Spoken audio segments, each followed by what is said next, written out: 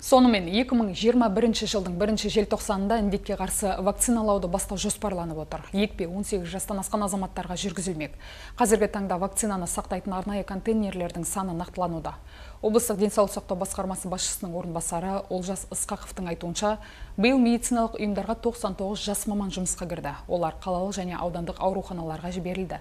Алғаш рет 99 маманның 39-на 500 айлық есептік көрсеткіш көлемінде көтермеақы берілетін болады. Тікелей эфир жалғастырамыз.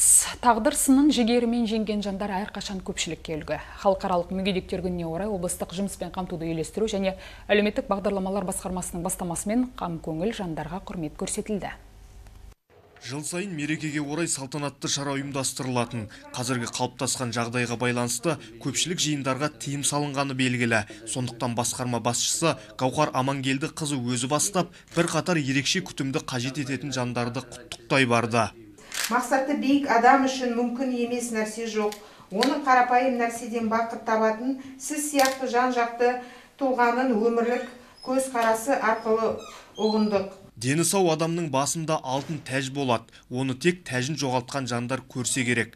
Қамкөңіл жандардың қай қайсысы да жігерін мұқалтпаған әрбірі кемін демей теңдігін танытып еңбек етіп жүргенін жеткізді. Солардың бірі екінші топ көз мүгедегі болатбек тайманов. Отыз алты жыл болды ғой жаңа мүгедек болғаныма сексен төртінші жылдан бастап. Қазір енді шамалы жасып келіп қалды бірақ әлі жұмыс істеп жатырмын. Сый сияпат таратып жатсыздар өз атымнан рахмет кісілерге. Көз мүгедек болсын басқа мүгедектер бар. Бәріне мен аманшылық тілеймін жақсылық тілеймін мемлекет тарапынан осы жаңағы мүгедектердің жеке оңалту бағдарламасын іске асыру үшін толығымен ә, жаңағы қаржылар бөлінуде. Енді 182 мүгедекке осындай сый сияпаттарды береміз. Айта кетейік бүгінде өңірде ерекше күтімді қажет ететін 30 мыңнан астам тұрғын бар. Оларға мемлекет тарапынан тұрақты түрде көмек көрсетіліп келеді. Облыста мүгедек адамдардың құқығын қамтамасыз етіп өмір сүру сапасын жақсарту мақсатында арнайы жол картасы іске асырылуда. Елдес әбділда бекболат әбден тосқан сәтбай қызылорда телеарнасы.